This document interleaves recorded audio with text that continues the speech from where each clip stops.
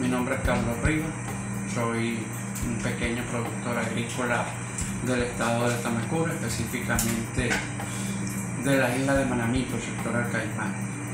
Vengo en este momento a manifestar mi, mi indignación, vengo a manifestar el estado de decepción que siento ahorita por cuanto fui objeto de una mala decisión, de un mal procedimiento, donde el día viernes dos personas se introducen a mi finca con una intención que fue cometido un hurto agravado de dos animales semientes, dos novillas preñadas ya al parir.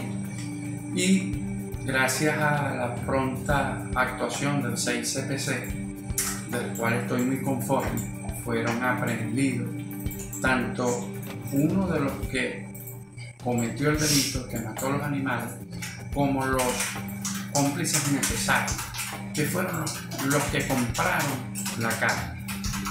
Identificados a estas personas, declaran a viva voz delante del juez, del fiscal, y mencionan a todos los involucrados en el hecho, donde por un segundo se pensó que se lograría la privativa libertad, como lo había dicho nuestra ciudadana gobernadora, donde no iba a haber beneficio dado a al ataque frontal que tenemos en el campo, dado a la situación que estamos viviendo de dónde no se sabe.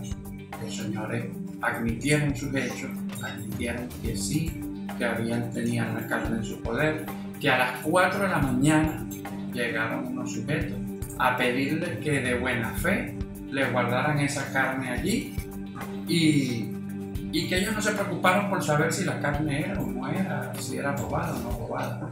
Personas que no son productores de ganado de ningún tipo, porque ningún productor va a salir a las 2, 3, 4 de la mañana a movilizar en un vehículo por todo el centro de la ciudad, desde San Rafael hasta la perimetral, dos animales en un carro a medianoche, a las 3, 4 de la mañana. Y donde estas personas confiesan, declaran ante el tribunal lo sucedido y resulta que se toma una medida, se le da una medida, un beneficio procesal, porque estos señores son inocentes, porque estos señores no sabían ni nunca se imaginaron la procedencia de esa carne. Señor gobernador, esto es una burla. Esto es algo que, que no cabe en ninguna cabeza.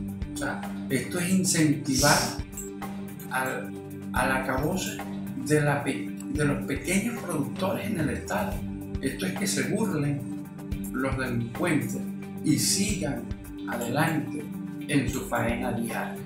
No obstante a esto, el día de ayer se volvieron a introducir parte de la banda que quedó suelta en mi finca y me matan el caballo, el único caballo que tenía de trabajo, donde nos toca ahora recoger los animales a pie.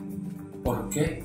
Porque no contamos con los medios de cómo trasladar a los cuerpos de seguridad hasta la zona para que hagan su trabajo, para que procedan a identificar y a detener a estas personas que día a día azotan el campo del delta. ¿Qué puedo pedir si no es justicia? ¿Qué puedo pedir si no es que los cuerpos de seguridad se aboquen un poquito al campo, se aboquen un poquito a detener la fragancia de la burla ya el, acabo a los productores. Si en un país no se produce alimento, no hay soberanía alimentaria.